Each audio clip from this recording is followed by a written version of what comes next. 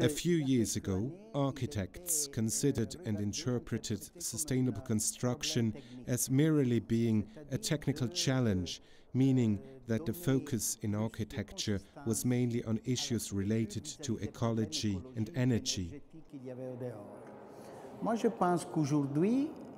I think today, and especially after having seen the projects received in the award competition, sustainable construction incorporates many other goals as well, such as social and ethical standards, spatial understanding, and better living conditions.